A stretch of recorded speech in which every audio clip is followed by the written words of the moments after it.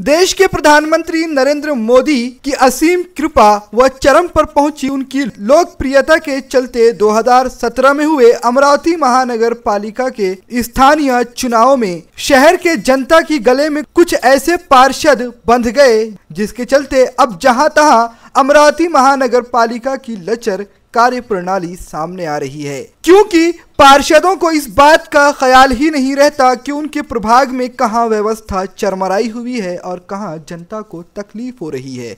वह सिर्फ़ अपने पोस्टर लगवाने और फोटोबाजी करवाने में व्यस्त रहते हैं। अमरावती महानगर पालिका से थोड़ी ही दूरी पर स्थित प्रभाग अंबापेट, जिसके अंतर्गत खुद महानगर पालिका की बिल्डिंग भी आती है।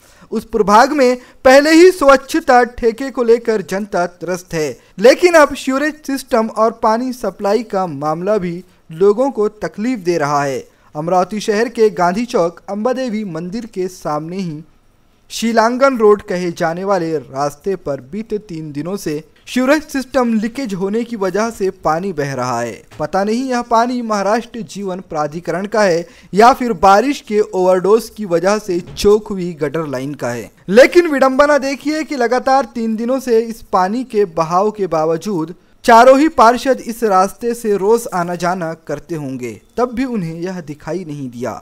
लोग यहाँ पर गिर रहे हैं। लोगों को तकलीफ़ हो रही है। रास्ता पानी से भरा पड़ा है।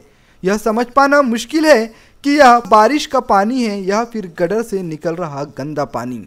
लेकिन प्रभाग के पार्षदों को इतनी फुर्सत कहाँ कि वह संबंधित विभाग को सचेत करवाएँ और इस तकलीफ़ देह कार्य को दुरुस्त करवाएँ। वह तो बस फ़ोटो सेशन में बिज़ी है। शायद इसलिए यह कहने में कोई अतिवृत्ति नहीं होगी कि यह अपनी छवि और अपने कार्य से कम, बल्कि मोदी जी की असीम कृपा से चुनकर आए हुए पार्षद हैं।